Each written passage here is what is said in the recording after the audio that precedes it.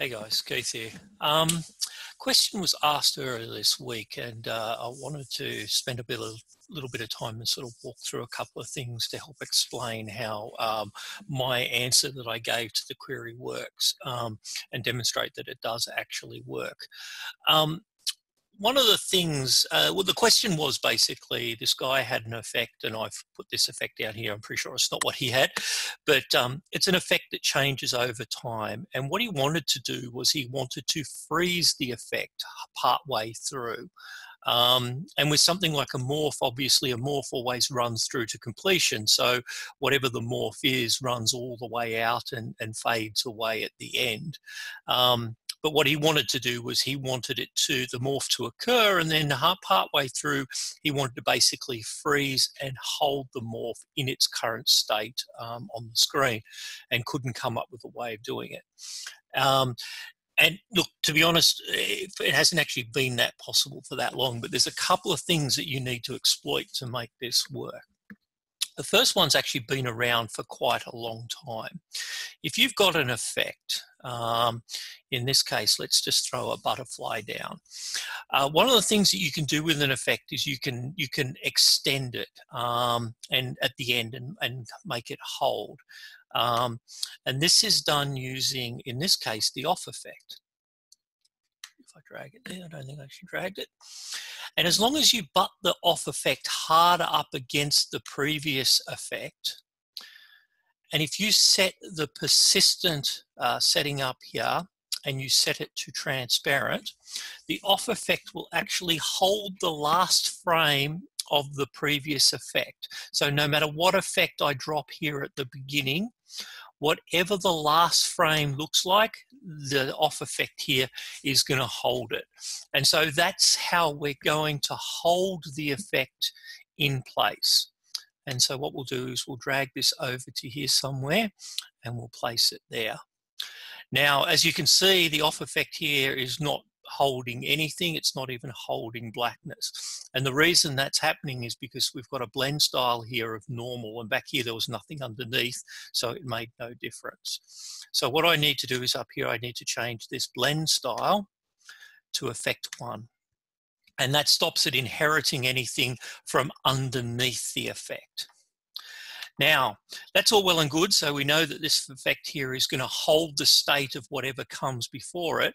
But how do I snapshot the state of the morph underneath here so that instead of going black as it's about to when it hits that off effect, um, that it actually, um, sorry, I want to make sure it's in the right place. So something's interesting happening maybe before that morph gets all the way across the screen. Um, so that you can see it snapshot it. There we go. So it's going to turn off with the, the morph up here. All right, so how do we snapshot the effect? And the answer is, is we use another off effect.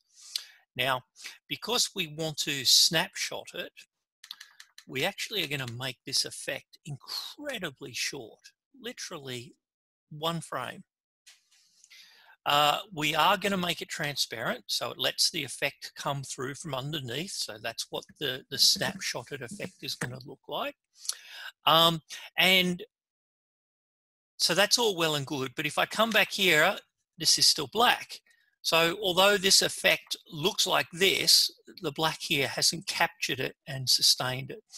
And the reason for that is because although the effect is there and it's black, it's transparent. Because it's transparent, this is not actually what the black effect is producing. This is actually what's being produced by the layers underneath. And the only reason it looks like it's frozen in time is because this effect is only one frame long.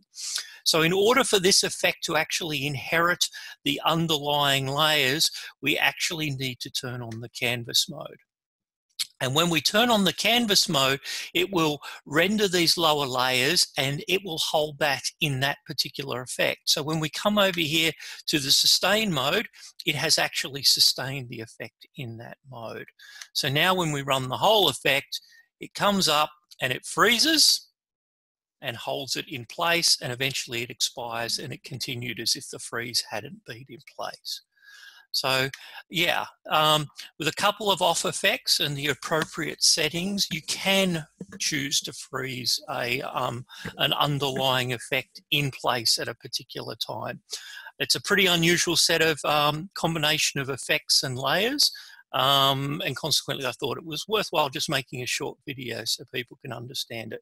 So remembering it again, I've got a couple of layers at the bottom which are doing the interesting effect. I've got a single frame uh, off effect which is set as transparent. It's set as transparent because we don't want the off effect to overwrite the data from underneath. It's set as a canvas mode because we want it to actually grab a copy of the data from the underlying layers. Um, and that needs to happen for one frame. And then we have the sustain off effect, which again is transparent. This time it's effect one. And what effect one means is it's going to hide any of the layers underneath it because we don't want to see any of the layers underneath it because that morph's going to still be happening and that liquid effect is still going to be throwing particles into the simulation. We don't want that. So we, we set it to transparent. We set it to effect one so we can only see the off effect and then we set the persistent tag to tell it to copy what happened in that prior frame, which was when we snapshotted what was actually happening on the effects underneath. Hope you learned something guys. Thanks.